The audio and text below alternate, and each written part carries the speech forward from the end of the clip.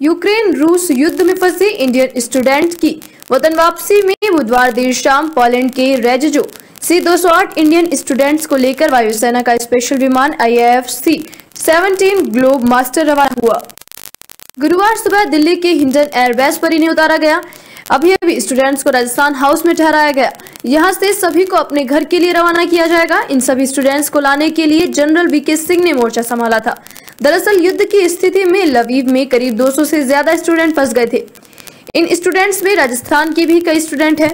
Operation Ganga के तहत इसका जिम्मा जनरल वी के सिंह ने संभाला। रवाना होने से पहले उन्होंने सभी स्टूडेंट्स को संबोधित करते हुए कहा कि वे अपने वतन लौट रहे हैं।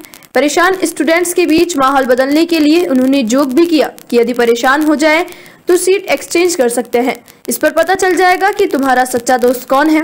इस पर सभी स्टूडेंट ने तालियाँ बजाई और वंदे मातरम के नारे लगाए। दिल्ली एयरपोर्ट पर राजस्थान के स्टूडेंट्स को राजस्थान फाउंडेशन की ओर से रिसीव किया गया। सीएम गहलोत की ओर से सभी को अपने घर भेजने की निशुल्क व्यवस्था की गई। इसकी मॉनिटरिंग राजस्थान फाउंडेशन की धीरज श्रीवास्तव कर रहे हैं।